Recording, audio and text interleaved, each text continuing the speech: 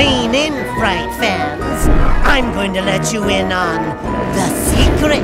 I've got the DVD to die for. All your favorite shudder-inducing, shiver-enticing shockers are now yours to own. Original and uncut in two devious DVD sets. Wow. I know I'm your favorite Hollywood actor, ah! but I'm not the only one that's burning up the screen.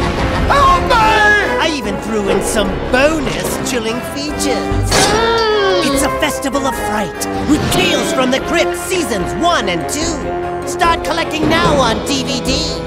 And keep an eye peeled for more tales coming soon. See you next time, boils and ghouls.